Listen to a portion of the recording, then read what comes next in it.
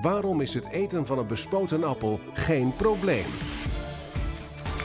Dit is de Universiteit van Nederland.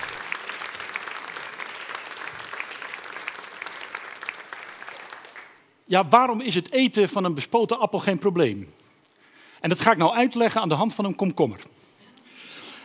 En deze komkommer die, is hier neergelegd omdat mijn grootmoeder altijd voordat ze de komkommer op tafel legde, altijd een klein stukje van een komkommer afsneed, het bovenkantje van de komkommer, en dan proefde ze die komkommer. En als hij dan niet bitter was, dan zei ze tegen haar kleinzoon, ik dus, nu mag je hem ook eten. Maar als hij bitter was, dan aarzelde ze eigenlijk niets. Want dan gooide ze gelijk die komkommer weg en dan zei er zit er iets in wat niet goed is voor de gezondheid. Nou, mijn oma was natuurlijk geen farmacoloog of toxicoloog. En ik weet nu wat erin zit. Er zit een stof in, cucurbaticine. Dat is een stof die in die komkommer zit. En dat is een giftige stof die in die komkommer kan zitten. En zij wist, als op bepaalde manier die komkommers gekweekt werden, en er was kruisbestuiving met de wilde komkommer, dan kon dat, die stof die kon in die komkommer terechtkomen. En dan smaakte die bitter, moest je hem weggooien. We weten dat nog steeds, want heel veel sierkalebassen, die in dezelfde familie zitten, daar zit die stof ook in. En die zijn dan ook niet geschikt voor menselijke consumptie. Die moet je niet eten, die smaken bitter en die zijn niet goed. We hebben ontzettende paniek eigenlijk ten aanzien van allerlei stoffen die in ons eten zitten. En we kennen allemaal de voorbeelden wel. Dan is het nitriet in vlees. Dan zijn het pesticiden op de groente- en fruitresiduen daarvan. Dan is het aflatoxine in de pindakaas door een schimmel die erin zit. Dan mag je de pindakaas niet meer eten. Nou, u weet laatst ook nog wel de fipronil in de eieren. Nou, er was een enorme paniek. Er waren allerlei toxicologen die zeiden, nou, het valt wel mee. Voor de menselijke consumptie is het niet zo gevaarlijk. Maar toch werden de eieren massaal allemaal weggegooid. Zelfs als er een enkel eitje zat in de eierkoeken, werden die eierenkoeken uit de schappen gehaald. Alles werd weggegooid, want er was paniek ten aanzien van dat eten wat we tot ons nemen. En die paniek die is massaal ten aanzien van ons eten. Dat is heel merkwaardig. Vooral is dat merkwaardig omdat we weten dat onze voeding eigenlijk veiliger is dan ooit. Onze voeding is nog nooit zo goed geweest als nu. Dat is heel merkwaardig en toch is er een enorme angst. De media vergroten dat natuurlijk heel snel, want alles wordt getwitterd en dat komt op, al op de media terecht en dat blijft rondzingen. Dus de problemen die lijken ook steeds groter te worden dan ze in werkelijkheid zijn.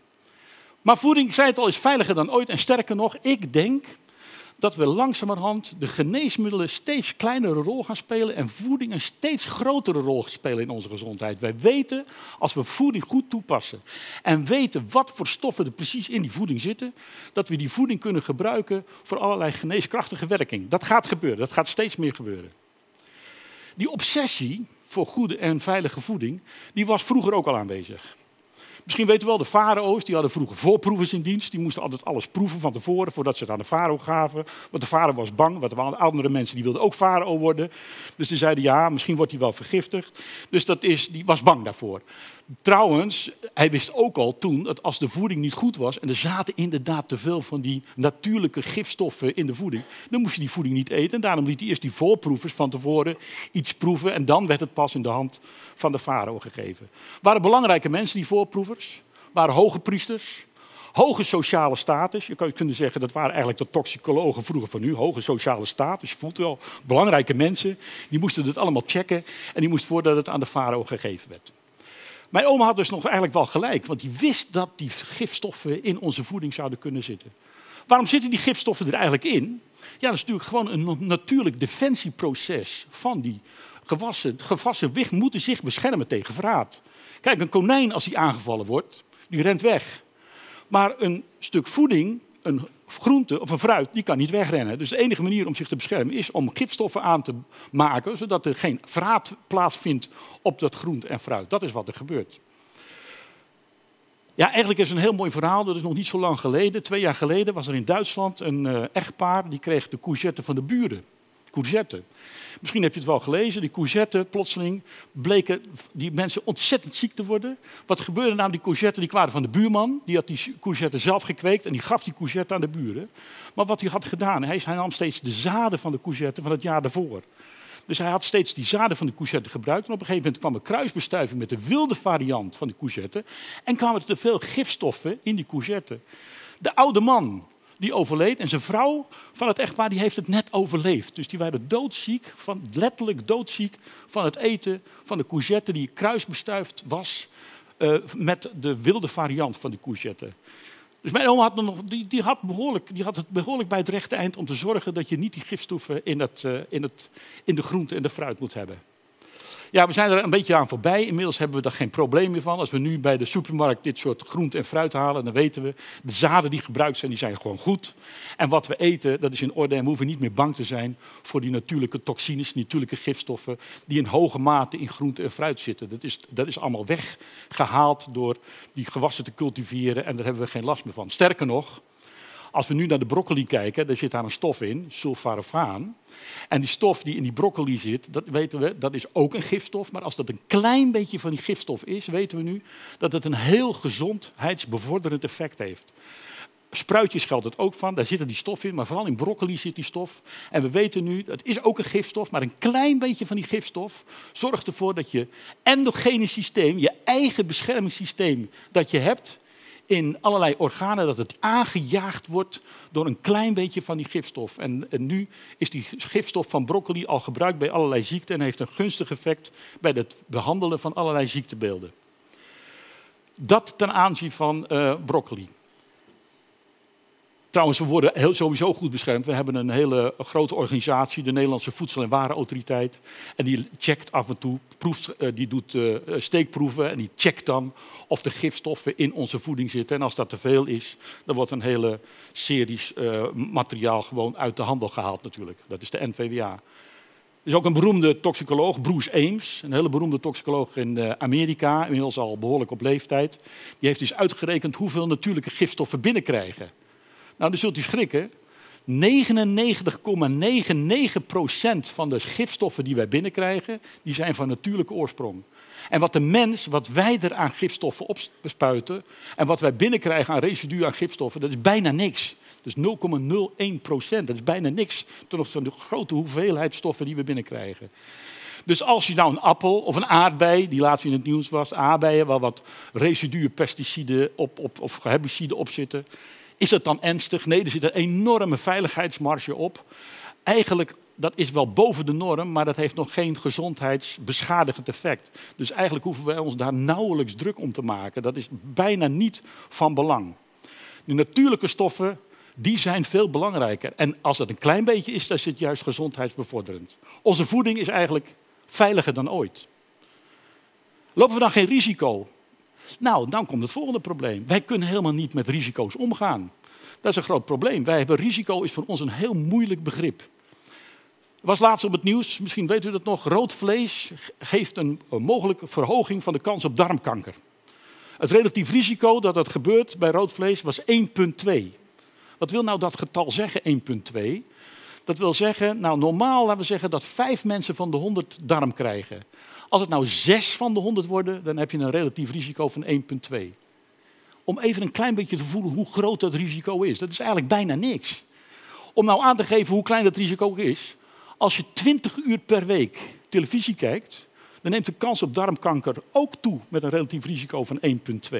Nou, wie kijkt er niet 20 uur per week televisie stil op de bank? Dan heb je ook een verhoging van darmkanker van 1,2. Zo groot is het risico. Maar dat wordt natuurlijk door de media enorm opgeblazen. En dan zie je dat er enorm veel uh, uh, drukte omgemaakt wordt. Maar eigenlijk is het maar een heel, heel klein risico. Risico, industrie speelt daar natuurlijk heel makkelijk op in. En zegt, ik wil risicoloos eten. Dus wat zeg je dan? Alles wat je doet is biologisch. Dus wat zetten we voor voeding? Bio. Moet je maar eens kijken op de schappen. Je koopt geen vitamine C, maar je koopt liever bio-vitamine C. Je denkt dat is beter. Nou, het is precies hetzelfde molecuul, maar je denkt het is beter, want het is bio-vitamine C. Ja, ik heb nog een paar mooie voorbeelden hier meegenomen. Bijvoorbeeld deze. Dit is gewoon geen chroom, maar het is biochroom. Nou, heb geen flauw idee wat bio is en chroom, het is een chemisch element. Dus eigenlijk moet, heet, dat, moet dat heten chemochromium. Dat klinkt trouwens ook veel leuker, maar we zeggen biochroom om te laten zien dat het biologisch is. Of deze vind ik ook wel mooi. Dit is een vitamine, want vitamines zijn dan altijd goed. Is vitamine B50. Ja, dat bestaat niet, B50. En denk je, waarom heet het dan B50? Denk je, nou, het zullen wel 50 capsules zijn, maar het staat hier onderop 100 capsules. Dus dat is het ook niet. Dus ik weet niet wat het is, maar het klinkt wel heel gezond. Dit vind ik de allerleukste. Dat is vitamine F.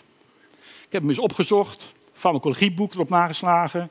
Vitamine A, B, C, D, E, K. F bestaat niet.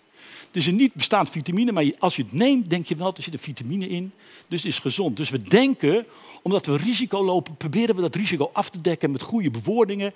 En proberen dat risico dan weg te halen door woorden als bio of vitamine in die uh, preparaten te zetten. Eigenlijk is dat jammer. Onze voeding veiliger dan ooit. Wetenschappelijk zie je, wetenschap zie je dat, je dat we langzaam wegspringen van geneesmiddelen naar voeding. We denken dat we met voeding heel veel meer kunnen. Voeding werkt wel anders dan geneesmiddelen, moet ik zeggen. Geneesmiddelen die werken vaak heel hard. Een geneesmiddel werkt op één target, een receptor of een eiwit. Dan werkt zo'n geneesmiddel erop en je hebt een heel sterk fysiologisch effect. Voeding doet dat niet.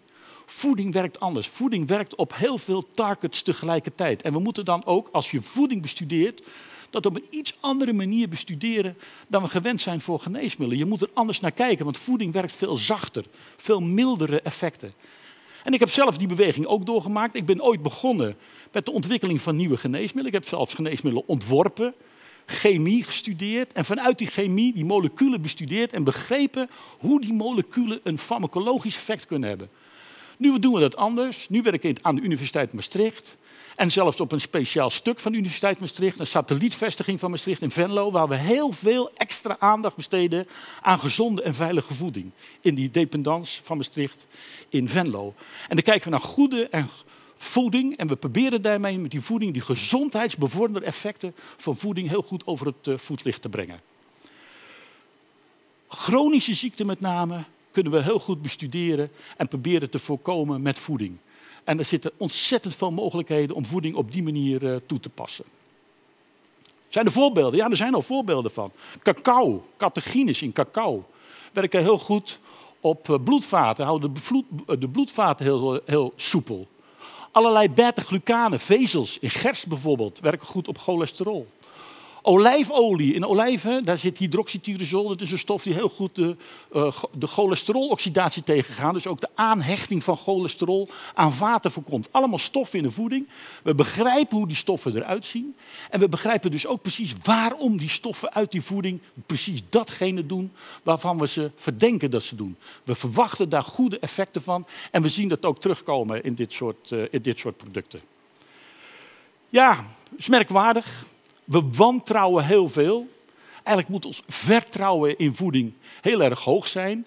En ik denk dat we heel langzaam gaan veranderen en dat het heel langzaam zo wordt dat alles wat de voeding biedt, wat we op het land vinden, wat we in de koelkast vinden, wat we op de schappen vinden, dat we steeds meer gaan zien dat voeding de apotheek wordt van de toekomst. Wat hebben we daarvoor nodig?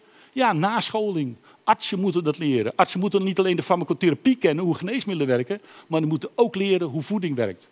De consument moet ook getraind worden, moet ook een stukje opvoeding hebben, dat hij niet bang hoeft te zijn voor een bespoten appel.